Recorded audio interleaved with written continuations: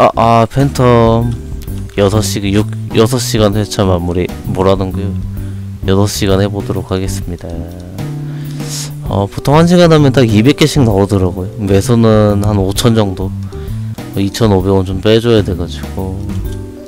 음, 아 장인의 큐브가 있네요. 장인의 큐브를 던질 만한 아이템이 경매장, 경매장이란다. 창고에 있죠 아, 아 좋습니다. 다음 기회에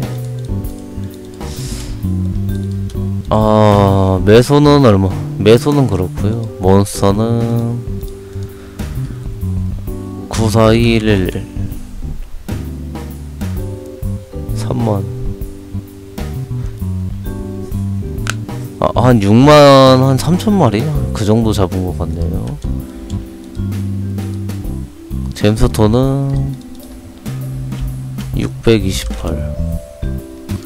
한 서른 일곱 개, 서른 일곱 개 먹은 것 같네요.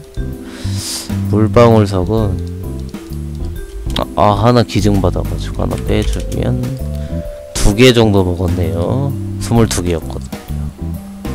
그럼 깔끔하게 마무리해주자면은 6시간을 하였고 몬스터는 6만 초반대에 잡았고 잼스터는 37개.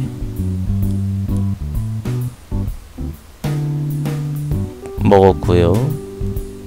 물방울송은 두 개를 먹었답니다.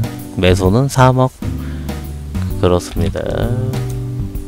아 경매장 물품 한번 볼- 볼까요? 아, 아 오늘 이제 제가 유니크 이제 큐버 돌린 게 6천만원에 팔렸네요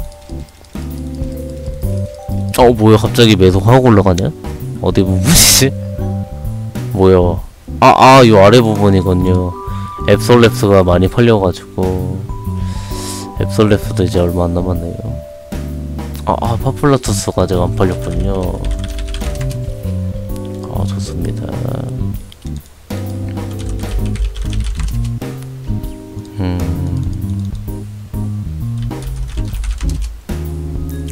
에이, 가격이 갑자기 확 다운됐네. 2억 5백만 원이라. 뭐 어쩌겠습니까? 우리는 같이 가야죠. 서로 공존해야겠죠. 전쟁에 전투자로 나 있거든요. 그렇게 팔아야 되겠네요. 좋습니다 어, 아 이것으로 회차 마무리해 보도록 하겠습니다.